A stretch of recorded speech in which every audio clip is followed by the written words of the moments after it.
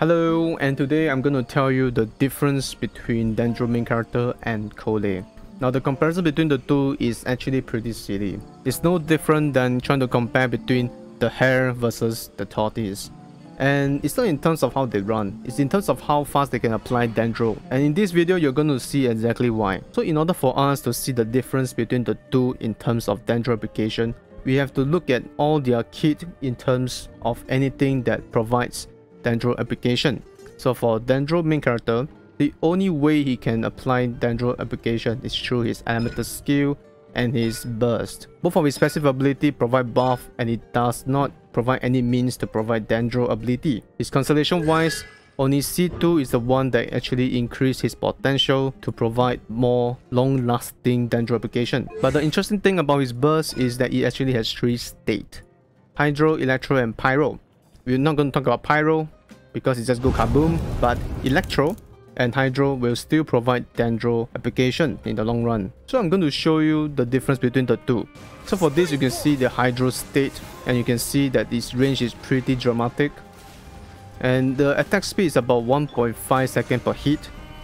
And when we look into Electro Transfiguration after I tune it up, it has an attack speed roughly about 53 frames per second, so it's not exactly a 1.5 boost, it's close to it. And a side-by-side -side comparison in slow-mo, you can see that you can roughly get an extra hit for every 2 hit from the base version. While as compared to the electro configuration, you can roughly get 12 hit for the full 12 second duration. And it's only going to be more with the Constellation 2 effect. So when we look into Collei's ability, it's pretty interesting. Her E skill throws and boomerang. Once the boomerang returns, you actually trigger another instance of Dendro. It basically means it has no internal cooldown. But the catch is, your boomerang cannot be stuck between certain big enemies which is a kind of a common theme if you were to fight against a new Ruin Guards. But that's not all. Her Ascension 2 passive actually complements with her elemental skills which states that as long as you can trigger a Dendro related reaction before the boomerangs come back, you will get an sprout ability. Now sprout is pretty important and you can see from this clip. Once I do so, as come back, Sprout can help me trigger another instance of Dendro. Now this is pretty important later on. And not only that, Sprout is considered as an elemental skill. It is separated from your burst. So you can actually make use of this and pair it together with your burst for max result. And as you can see earlier on, it's actually pretty easy to trigger this passive ability as long as your target has an element that you can react with. And as you have already guessed, Sprout only lasts 3 seconds which is pretty short. So another interesting thing is with a Constellation 2. Basically you still do the same thing, try to trigger a Dendro reaction before the boomerang comeback, which increases her Sprout ability to the max of 6 seconds instead of the usual 3. So this is pretty huge. It meant that you can apply more Dendro in the long run, so that's pretty cool. Of course, I haven't forgotten about her burst. Now, I will have to be honest. Her burst is a bit limited. I will not say about her damage yet, I haven't know much about it. But her Dendro application for a burst is not the usual internal cooldown that we all know. The usual rule is 2.5 second or the 3 hit rule, but for Collei is not the same.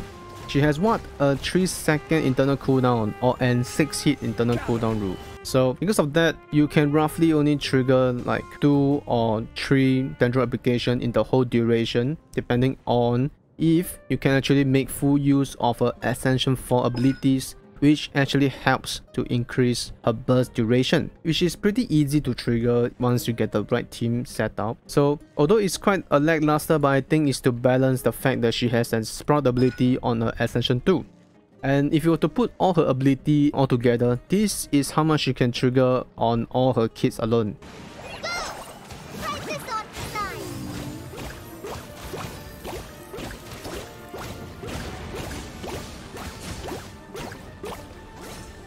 So you can see in the short duration, you can trigger a lot of Dendro application. And since my Collei is only C0, I can show you what C2 can do, which I'm pretty sure is going to do a lot more. And I think the main question that you want to ask is, so what if Collei can provide a lot more Dendro application as compared to the Traveler in the short burst of time? Well, this is exactly why. So this is with Collei and the same setup. Not forgetting that Zhongli has a resistance shred that can actually push the advantage. But don't worry, this is going to be repeated on the other team as well. Propagate! Spring forth! Of course, the Hydro Herba did heal once, but it doesn't change the fact it does take slightly longer time. And you also have to note that in Collei Showcase, she isn't C2. If she is C2, things is gonna be very different. But as for the Dendro Traveler, no, it only increases the on-field duration of his burst, it doesn't change how much he can apply. So as a whole, I just want you to know that Collei is an amazing Dendro Brigader while she only do so in short duration of time, but it doesn't change the fact that this is what makes her so good. Now of course I don't know about damage yet, maybe she can do quite good damage, but this will have to wait until I manage to get all the material to do a proper showcase that can properly attribute her in the right light, you know, instead of the bad light she sucks or how bad she is because it's so early and nobody knows what to maximize her and I believe this is the team going forward too. Other than that, if you think this video helps you, please give me a like so that I know that this is a pretty good kind of concept to go on in the future. Other than that, that's all.